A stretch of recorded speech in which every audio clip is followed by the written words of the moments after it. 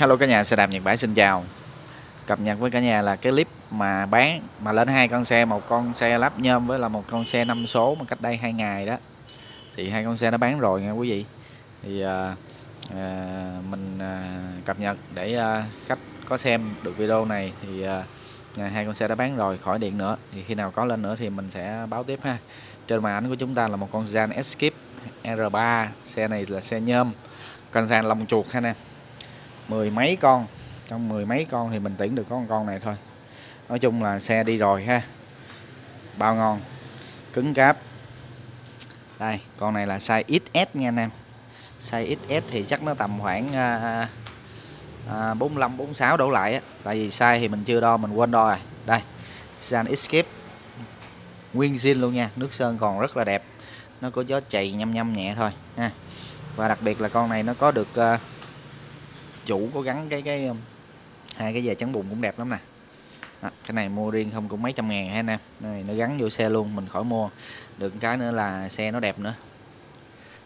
Đây con này thì à, chạy à, Shimano Antutu cấu hình là 3 37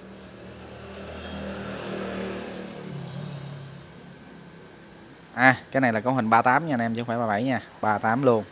Cặp lớp Paracer zin của nó luôn nè ha niền là niền xé gió của ờ, Zan luôn. Nói chung là con xe này hồi hồi tối mình có chạy rồi chạy thử rồi rất là đã luôn.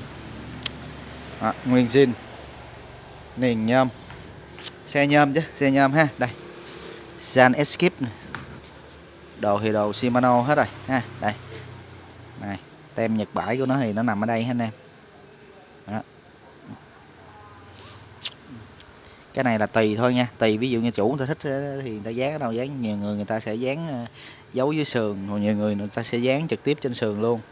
Đây, tay bấm xả, đồ 3 đồ 8 đây. Ở ngoài trước thì nó cũng đồng bộ giống như ngoài sau ha anh em. Đó. đây.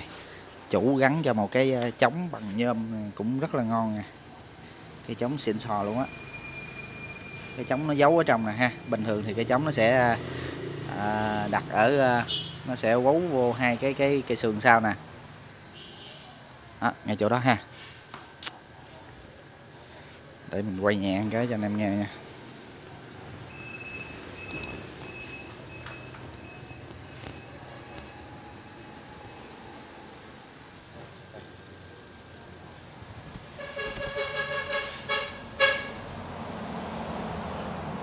Siêu chớn luôn ha. Đùm á.